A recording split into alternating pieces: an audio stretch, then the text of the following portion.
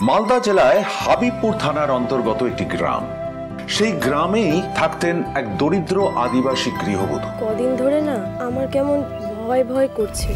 আর রাত্রে দরজাটা বন্ধ রেখো। কিন্তু হঠাৎই এক কাল রাত্রিতে তার মুখের সেই হাসি গেল নিভে।